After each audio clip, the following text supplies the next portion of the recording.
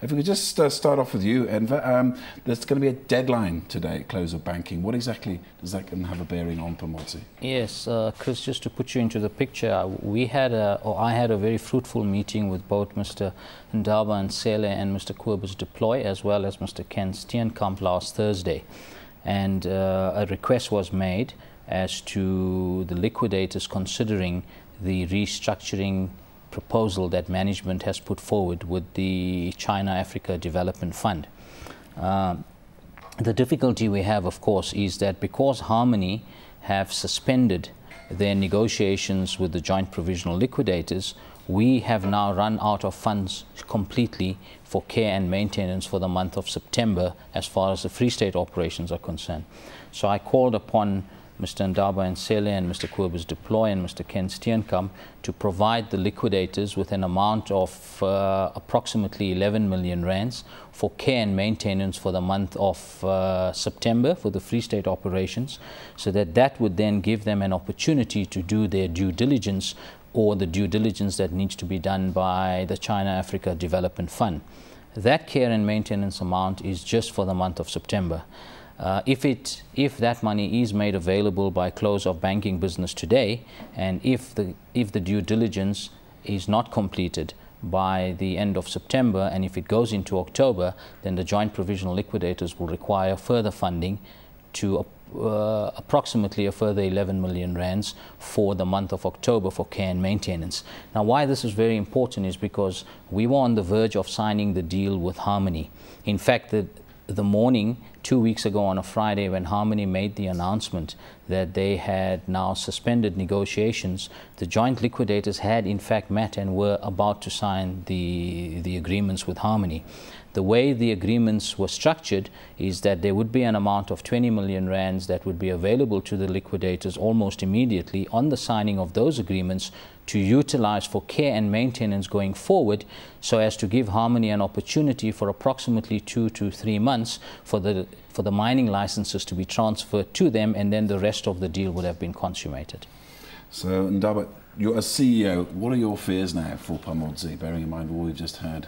Yeah, I think uh, Koba is going to answer uh, the financial issues. My, what I want to say here, we've always been blocked to go into a due diligence, especially in Free State. And we came with a, a group solution. And the reason for blocking was, was that Harmony uh, has a right that nobody must go into due diligence. And then that's the reason that I called Enver after Harmony has pulled out. When I called Enver, I asked him that I want to meet and then we can solve this thing once and for all. And I think uh, we had a good meeting.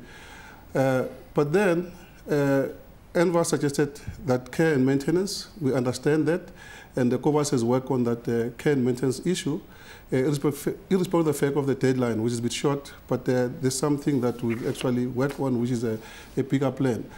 But my problem with the liquidators uh, is that I since discovered through some uh, uh, journalists this weekend that when I had a meeting with Enver, he had actually written a recommendation to the unions, including the IDC, which happened on the second, that Pamodzi uh, proposal uh, must be out of the window, and then Aurora must actually be uh, the preferred a black stopper if Hamwin doesn't come on board.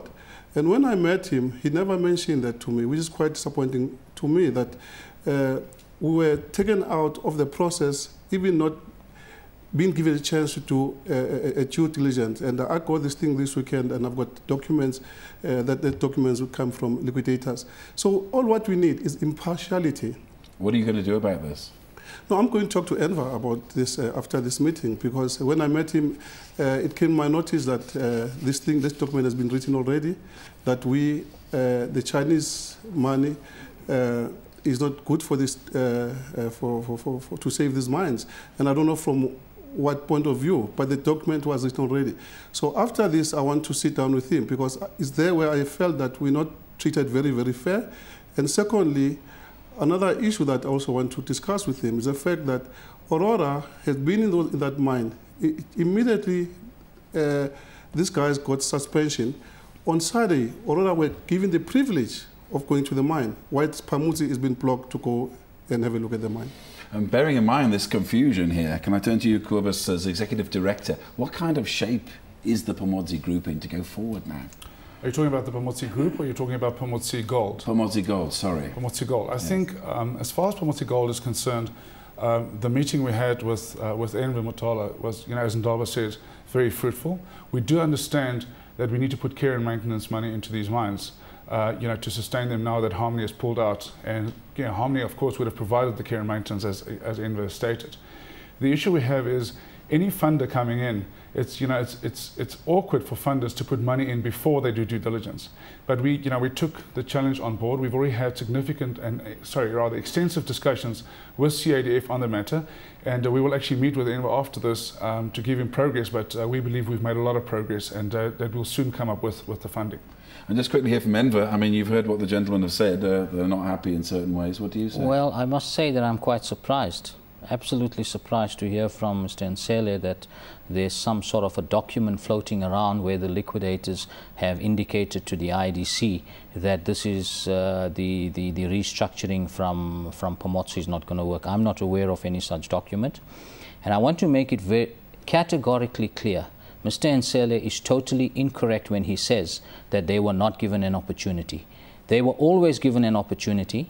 When we started the bidding process, on Orkney, on the Free State, Standard Bank, who are the agents of the liquidators, invited, categorically invited Pamodzi Gold to say, if you guys have a rescue package or you can raise funding from somewhere, please come and be part of this process.